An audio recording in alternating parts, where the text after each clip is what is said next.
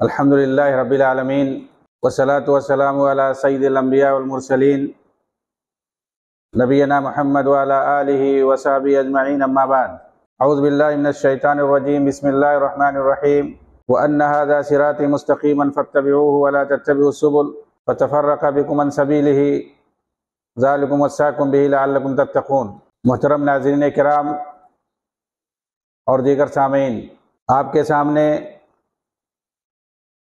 مناج سلف پر مشتمل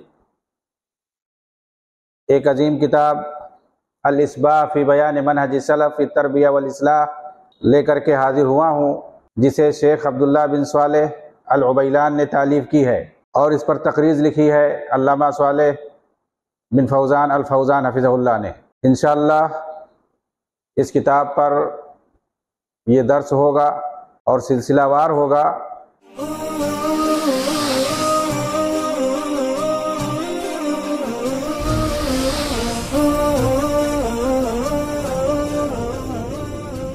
اس کتاب کے اندر ہمیں منہج سلف کے مطابق زندگی گزارنے کا طریقہ سمجھنے کو ملے گا، لیکن قبل اس کے کہ میں اس کتاب کے اندر آؤں اور اسے آپ کے سامنے پیش کروں، مناسب سمجھتا ہوں کہ منہج سلف اور فہم سلف پر تمہید کے طور پر کچھ باتیں عرض کر دی جائیں۔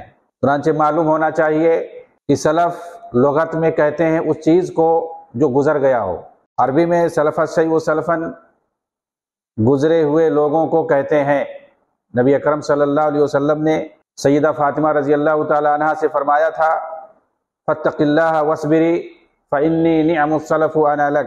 کہ اللہ سے ڈرنا، صبر کرنا، میں تمہارے لیے کیا ہی اچھا سلف ہوں۔ یعنی میں تم سے پہلے جانے والا ہوں۔ میرے بعد تم جلد ہی آ کر مجھ سے مل جاؤ گی۔ اللہ کے نبی صلی اللہ علیہ وسلم نے خود کو سلف بتایا۔ یعنی پہلے گزر جانے والا جو لوگ پہلے گزر گئے ہیں، وہ بعد والوں کے لیے سلف ہیں۔ لیکن شریعت میں اور جو اصطلاحی تعریف ہے، علماء عقیدہ کے نزدیک جب مطلق طور پر سلف کا لفظ بولا جاتا ہے، تو اس سے مراد صحابہ تابعین اور ائمہ دین کہ خیر القرون کا وہ پہلا دور مراد ہے۔ دین میں جن کی امامت اور فضیلت سب کے یہاں مسلم ہے، جو سنت کی اتباع کرتے تھے بدعات سے اجتناب کرتے تھے، خود بھی اجتناب کرتے تھے اور دوسروں کو بھی ان سے آگاہ رکھتے تھے، اس دور کے لوگوں کو یعنی خیر القرون کے لوگوں کو سلف سوالے کہتے ہیں۔ ابن حجر بوتامی رحمہ اللہ نے سلف کے بارے میں فرمایا ہے کہ مذہب سلف سے مراد وہ منہج اور طریقہ ہے جس پر صحابہ کرام، تابعین اور طب تابعین اور ائم کرام قائم تھے۔ اس میں وہ لوگ شامل نہیں ہیں جو کسی بدعت میں ملوث تھے یا خوارج وغیرہ جیسی کسی صفت سے معروف اور مشہور تھے۔ معلوم ہوا کہ سلف صالحین سے مراد حقیقت میں صحابہ کرام ہیں اور قیامت تک انہی کے نقش قدم پر چلنے والے لوگ بھی بعد والوں کے لیے سلف ہیں۔ خیر القرون کا اجمالی تعارف کرنا ضروری ہے تاکہ ہمیں سمجھ میں آئے کہ آخر وہ کون سا زمانہ ہے جسے جب ہم سلف کہتے ہیں تو ہمارے ذہن میں آنا چاہیے۔ تو یہ خلافت راشدہ کے دور سے لے کر بلکہ عہد نبوی سے لے کر دو سو بائیس تک کا دور جو کہ آخری طب تابعی کا دور ہے، یہ منظم طور پر شرک و بدعت اور تقلید سے پاک تھا۔ خلفۂ راشدین کے دور سے لے کر بنی امیہ کا پورا دور اور عباسی دور کا ابتدائی حصہ۔ آپ دیکھیں گے اس دور میں مسلمانوں کی ایک متحدہ جماعت تھی۔ اس وقت کسی طرح کی کوئی خرافات، بدعات، تصوف، تخلیق اس طرح کا کوئی بھی جھمیلا نہیں تھا، بلکہ اس وقت صرف اور صرف کتاب و سنت اور صاف اور شفاف توحید تھا۔ اگر کوئی مسلمانوں کے اس راستے سے ہٹ کر کے کوئی بھی دوسرا راستہ اختیار کرتا یا بدعات پیدا کرنے کی کوشش کرتا، مسلمانوں کے اس راستے سے منحرف ہو کر کے کوئی نئی فکر لانے کی کوشش کرتا، تو اسے فوراً گھیر لیا جاتا تھا۔ اس پر فوراً نکیر کی جاتی تھی۔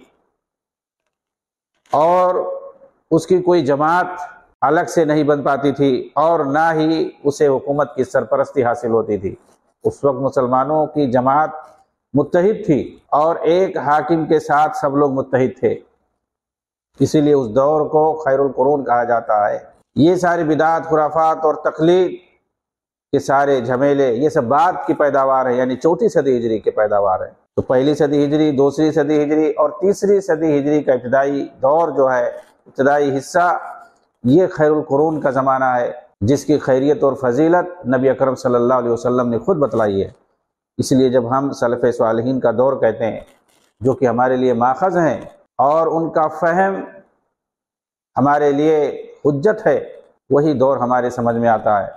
اور فوراً ہمارے ذہن میں اسی دور کا نام آتا ہے۔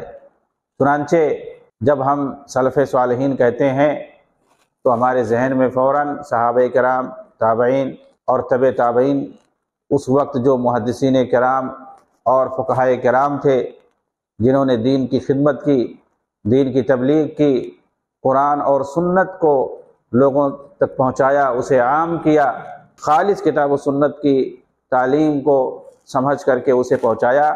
یہ ہے سلف صالحین کا دور اور وہی لوگ مراد ہیں۔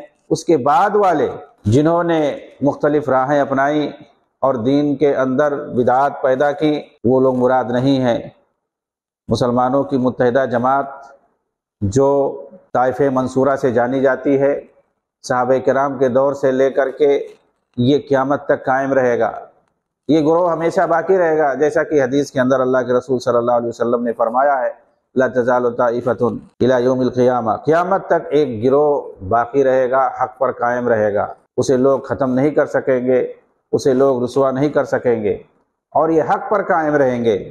یہ صحابہ کرام کی متحدہ جماعت ہے اور اسی فکر پر، اسی منہج پر جو لوگ قائم ہیں، وہ ہمیشہ باقی رہیں گے۔ اور وہی مراد ہے اس طائف منصورہ سے۔ بالخصوص جب نبی اکرم صلی اللہ علیہ وسلم نے اس امت کو تہتر فرقوں میں بٹنے کے لیے کہا اور ایک فرقے کو نکالا، صحابہ نے پوچھا تو آپ نے فرمایا، ما انا علیہ اليوم و اصحابی.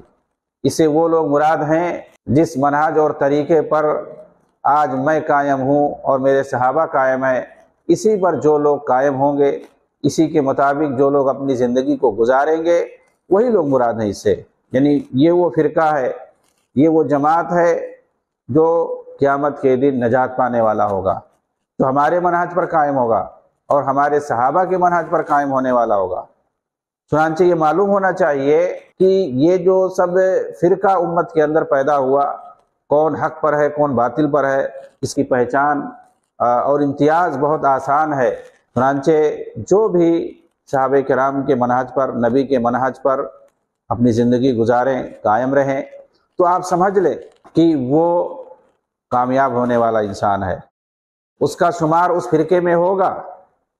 جس کی خوشخبری اللہ کے رسول نے دی ہے کہ وہ ناجی فرقہ ہے، تو فرقہ کہنا فی نفس سے ہی کوئی برا نہیں ہے۔ لیکن ایک ہے قابل مذمت اور دوسرا ہے قابل تعریف۔ تو وہ لوگ جو صحابہ کے مناج پر چلیں، نبی کے طریقے پر چلیں، تو گویا ان کا تعلق اس گروہ اور اس فرقے سے ہے جو کامیاب ہونے والے ہیں قیامت کے دن۔ اور جو لوگ اس طریقے سے ہٹ کر کے نئی راہیں اپنا لیں۔ دوسری راہیں اپنا لیں، وہ قابل مذمت فرقے ہیں۔ اور انہی لوگوں کے بارے میں اللہ کے رسول نے فرمایا ہے کہ یہ سب جہنمی ہیں۔ چاہے وہ ہمیشہ ہمیش کے لیے ہوں یا وقتی طور کے لیے ہوں، جس طرح سے ان کے اندر بدعت، اگر بدعت مکفرہ پائے گی تو ہمیشہ ہمیش کے لیے ہوں گے جہنمی۔ لیکن اگر بدعت مکفرہ نہیں ہے تو وقتی طور پر ہوں گے وہ۔ بہرحال وہی لوگ قابل مذمت ہیں جو رسول صلی اللہ علیہ وسلم اور صحابہ کرام کے مناج کو چھوڑ کر کے دوسری راہ اپنائیں گے۔ یہ جو قابل مذمت فرقے ہیں، یہ امت کے اندر نئی جماعت بنانے والے، نیا فرقہ بنانے والے، گروہ بنانے والے، یہ خود ہیں۔ چنانچہ آپ دیکھیں گے، ان کی کوئی نہ کوئی شخصیت ہوگی، کوئی نہ کوئی بانی مؤسس ہوگا، ان کی کوئی نہ کوئی تاریخ ہوگی، اور ان کے کچھ نہ کچھ ایسے وصول ہوں گے جو اسلامی مسلمہ، اسلامی اصول اور عقیدوں سے مخالف ہوں گے اور ان سے بالکل جدا گانا ہوں گے جیسے خوارج ہیں، روافظ ہیں، ان کا ایک بانی ہے، ایک مؤسس ہے۔ اور پھر پوری جماعت اس کے پیچھے ہے، ان کے اپنے کچھ اصول ہیں، جنہوں نے مسلمانوں کی جماعت سے ہٹ کر کے بنائے۔ اور پھر مسلمانوں نے ان کے خلاف چڑھائی کی، مسلمانوں نے ان کی مخالفت کی۔ اور یہ بعد میں الگ ایک جماعت مانے گئے، تصور کیے گئے۔ ایسے ہی مرور زمانہ کے ساتھ بہت ساری جماعتیں پیدا ہوئیں۔ بہت سارے فرقے پیدا ہوئے۔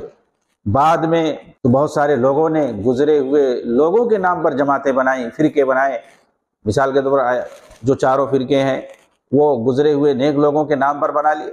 تو بہرحال اس کی بھی تاریخ ہے۔ اس کے بھی بانی اور مؤسس گرچے نہیں ہیں، لیکن شخصیت پر بنائی گئی ہیں۔ تو اس طرح سے شخصیت پر خواہ وہ جماعتیں بنائی جائیں یا خود آدمی بنائے اور اپنے فالوور کو اکٹھا کرے اور ایسے اصول وہ اپنائے جو اسلام کے مسلمہ اصولوں سے متصادم ہوں۔ اس کے عقیدے الگ ہوں، اس کے اصول الگ ہوں۔ تو ایسی صورت میں یہ فرقے قابل مذمت ہیں۔ گویا وہ نبی کے طریقے سے ہٹ گیا، وہ صحابہ کے مناج سے ہٹ گیا۔ ابھی دیکھیں بہت سارے لوگ دعویٰ کرتے ہیں کہ ہم اللہ تعالیٰ نے قرآن دیا ہے ہمیں، نبی کی حدیث ہے۔ ہم، ہمیں اللہ نے عقل دیا، ہم اس کو خود سمجھیں گے۔ اس طرح سے اپنے جب فہم کا استعمال کرتے ہیں، تو وہ بھی بھٹک جاتے ہیں۔ تو اگر ہم فہم سلف اور مناج سلف کو اور نبی اکرم صلی اللہ علیہ وسلم کے طریقے کو چھوڑ دیں، قرآن اور حدیث کو اپنے طریقے سے سمجھنے لگے اور اپنی عقل سے سمجھنے لگے تو بھی جو ہے گمراہی کے راستے پر جانے کا گویا ہم ایک راہ بنا رہے ہیں۔ اور ہم صحیح راستہ جو ہے نبی صلی اللہ علیہ وسلم کا اور صحابہ کا جو راستہ ہے، اس سے گویا ہٹنے کی کوشش کر رہے ہیں۔ اسی لیے فہم سلف ضروری ہے کہ صحابہ نے جس طریقے سے قرآن اور حدیث کو سمجھا ہے، نبی اکرم صلی اللہ علیہ وسلم نے جس طرح سے سمجھ کر کے اپنے صحابہ کو سمجھایا ہے، اسی طریقے اور اسی فہم پہ ہمیں قائم رہنا ہے، باقی رہنا ہے۔ یہ ساری چیزیں اس کتاب کے اندر موجود ہیں۔ وہ سارے اصول بتائے گئے ہیں۔ کہ ہم اپنے زندگی کے اندر کس طرح سے ان اصولوں کو اپنائیں اور ان اصولوں پر چلیں، ان ضوابط کو اختیار کریں تو کامیاب زندگی گزار سکتے ہیں اور پھر دنیا اور آخرت دونوں جگہ کامیاب ہو سکتے ہیں۔ محترم ناظرین کرام، انشاءاللہ اگلی اپیسوڈ کے اندر ہم یہ چیز واضح کرنے کی کوشش کریں گے کہ ہمیں فہم سلف کی ضرورت کیوں ہے۔ نیز، سلف صالحین کی کیا فضیلت ہے جس کی بنیاد پر انہیں ہم اپنے دین کے لیے، اپنے عقیدے کے لیے آئیڈیل اور رہنما مانتے ہیں۔ ان ساری باتوں کو انشاءاللہ اگلے ایپیسوڈ میں وضاحت کرنے کی کوشش کی جائے گی۔ تب تک کے لیے ہمیں اجازت دیں۔ واخر دعوانا ان الحمد للہ رب العالمین۔ والسلام علیکم ورحمۃ اللہ وبرکاتہ۔